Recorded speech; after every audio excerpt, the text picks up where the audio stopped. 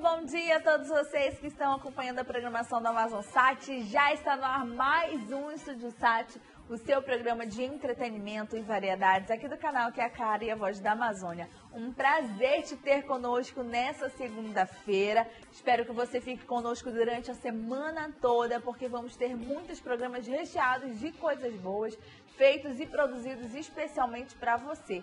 Dei meu bom dia para você que acompanha o nosso programa agora de manhã, tanto pelo canal AmazonSat quanto pelo nosso Facebook, facebook.com.br AmazonSat, que do Facebook vai para qualquer lugar do mundo. Dou meu boa tarde para você que está acompanhando o nosso programa também na reprise, às três horas da tarde. Muito bom te ter aqui conosco.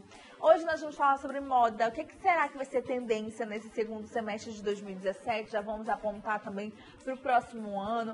Vamos falar hoje sobre uma campanha muito especial é, sobre pessoas com vitiligo. Bruno, ele que é fotógrafo, designer, vai estar aqui conosco hoje falando a respeito disso. Vamos falar com a instrutora Mastermind, Cleiva Coelho, sobre as dificuldades que os adolescentes encontram, né? Nessa fase que muitas vezes pode ser turbulenta, difícil da vida, às vezes tem dificuldades no relacionamento, às vezes tem dificuldades em escolher a carreira que vai seguir, o que, que vai ser no futuro, qual é a faculdade ali, qual é a área que eu vou seguir. Hoje nós vamos falar sobre esse assunto e hoje também vamos falar sobre tratamento facial que é um dos procedimentos mais procurados tanto pelos homens quanto pelas mulheres. As pessoas estão se preocupando, né, muito mais com a aparência da pele facial, até mesmo uh, mais do que com a pele do próprio corpo. Porque, querendo ou não, o nosso rosto é um cartão de visita.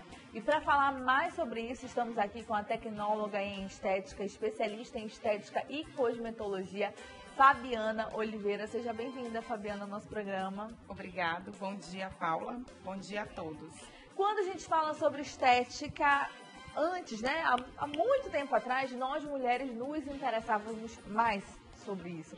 Hoje o negócio mudou. Os homens estão muito interessados também, né, Fabiana? Certo. Hoje a estética é para todos, né? Porque quando se fala em estética facial, tratamentos faciais, primeiramente a gente tem que falar sobre é, cuidados primários, né, de saúde da pele.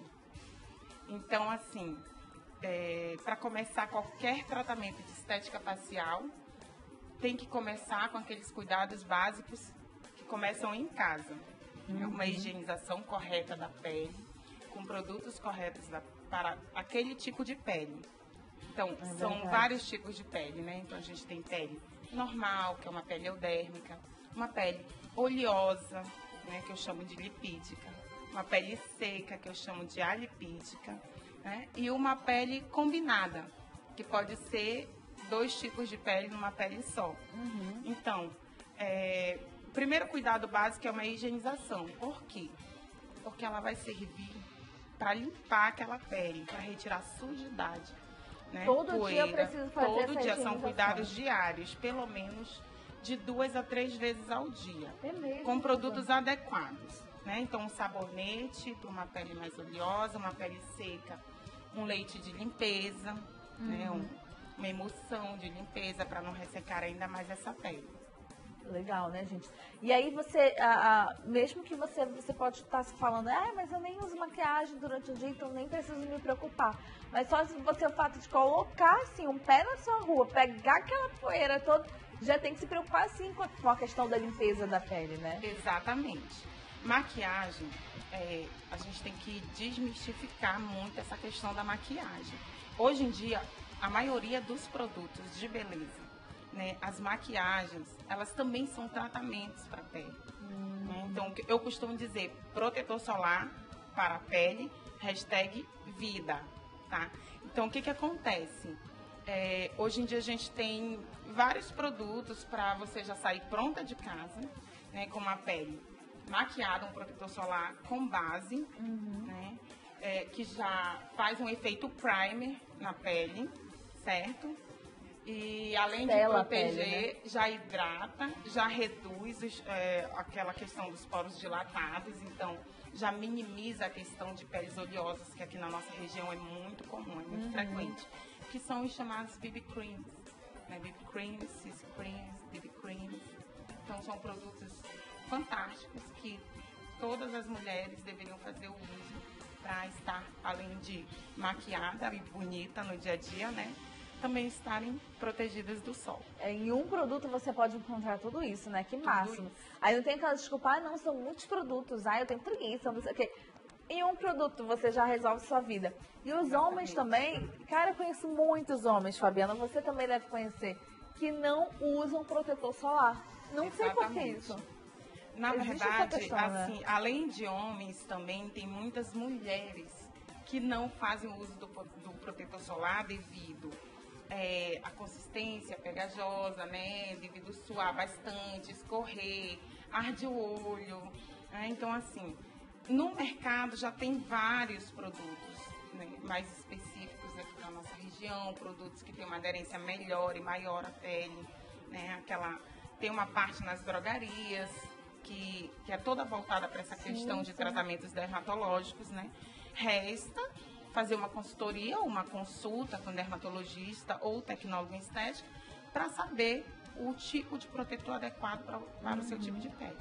E Fabiana, é, a gente falou da questão do cuidado com a pele, da higienização ela feita em casa. Mas eu li que uma vez por mês você precisa fazer uma limpeza de pele profunda, né? Pelo menos aí uma vez por mês. Exatamente. Limpeza de pele, Paula, não é um tratamento para a pele, não é um tratamento estético, de beleza. É um tratamento estético de saúde da pele. Né? Porque a nossa pele é um órgão e ela tem várias funções, dentre elas, dentre elas no caso, proteção, né?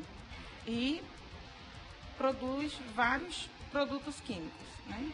Sebo, esse sebo é, se solidifica, queratiniza, forma tampões na pele, que a gente conhece como comedões, certo? Esses comedões, eles não saem sozinhos. Uma vez queratinizados, eles oxidam, eles ficam sólidos, ficam duros. Então, a gente tem que ter todo um cuidado de emoliência dessa pele e isso só acontece na limpeza de pele.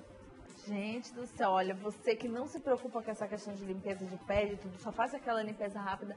Eu não sabia disso que a Fabiana falou, né? E essa, essa questão de você se preocupar com a saúde da sua pele, além de ser estética mesmo, ali físico, tá, onde você pode observar, é uma questão de saúde, como a Fabiana já colocou.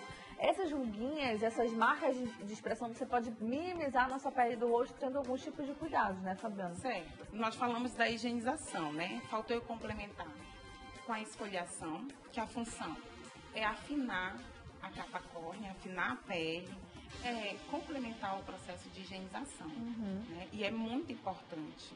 Uma vez, no mínimo uma vez por semana, aquelas esfoliações mais profundas, que a gente conhece como peeling, é feita em cabine com ou médico ou tecnólogo, uhum. né?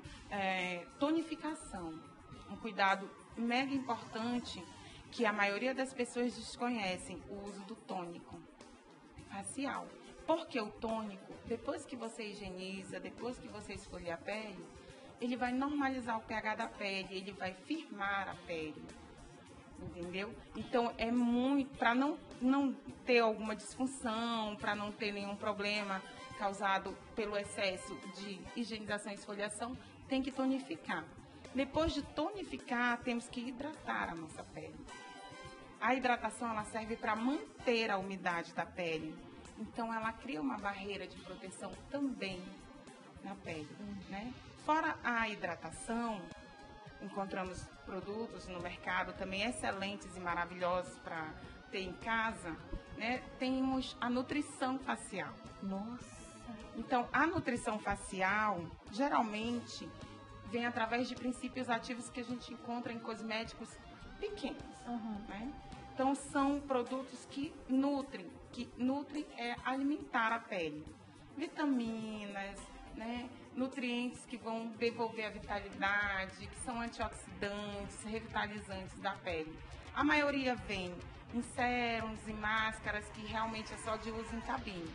Mas como eu falei, tem muitos produtos destinados a esse fim e a gente encontra aí no mercado. Gente, só nessa conversa com a Fabiana aqui nós aprendemos quatro processos. Você higieniza, você limpa a pele, depois você esfolia essa pele. Depois você passa o tônico nessa pele. Depois você hidrata ou nutre? Hidrata, hidrata a pele. E aí você nutre a pele. Nutrir a pele.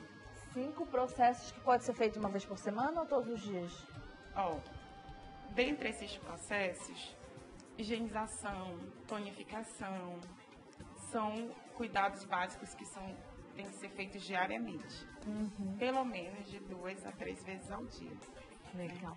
Hidratações e nutrições você pode fazer uma vez por semana, uma vez a cada 15 dias. Limpeza de pele, uma vez por mês. Pronto. Quem quiser te encontrar para tirar mais dúvidas, de repente até marcar uma hora com você para aprender mais e fazer também essa limpeza na pele, como é que faz? Olha, atualmente eu atendo no Salão Sempre Bela, no Veiralves. É, eu tenho um Instagram também, que minhas clientes me seguem por lá e acompanham é, as postagens do meu trabalho, que é Fabi com Y Estética. Facílimo. Arroba Fabi com Y estética. Estética sem o E, tá, gente? Obrigada, tá? Pela tua presença aqui Eu que agradeço. Nós vamos seguindo para o intervalo comercial e daqui a pouco a gente volta. Vamos ter notícias das ruas. O Matheus está nas ruas, foi saber a respeito desses ônibus que não estão circulando hoje, né? Deixaram muita gente na, na mão aí, essa greve dos, dos ônibus. Daqui a pouco a gente volta.